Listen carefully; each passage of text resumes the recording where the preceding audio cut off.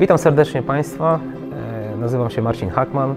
Jestem organizatorem obozów dla drużyn piłkarskich z Ekstraklasy i mam tą przyjemność ponownie w tym roku, jak i w poprzednich czterech latach współpracować ze Stalą Mielec, dla której zawsze w hotelu Gold City organizuję obozy piłkarskie. Tak jak już wspomniałem wcześniej, to już piąty obóz, e, który organizuje Stali Mielec i muszę powiedzieć, że e, czuję się już tak związany emocjonalnie i z klubem, że to jest wielka przyjemność współpracy z, ze Stalą i cieszę się na każdy rok, który mogę z nimi współpracować. Do tej pory zawsze e, przygotowania do obozu, do organizacji obozu rozpoczynały się praktycznie już w miesiącu wrześniu.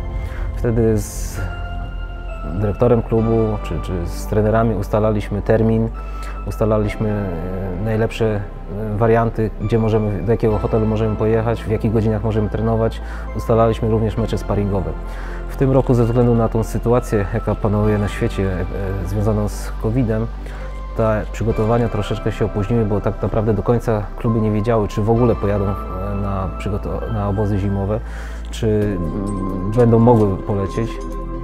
Więc tutaj praktycznie w grudniu rozpoczęliśmy już takie e, przygotowania dosyć intensywnie, żeby wszystko dopiąć tak na 100%, tak, łącznie z organizacją meczy sparingowych. W tym roku w Turcji mamy 6 zespołów, a w poprzednich latach coraz więcej, co, więcej drużyn przyjeżdżało. E, Bywało, że nawet 80% meczy, drużyn ligowych e, przybywało w Turcji.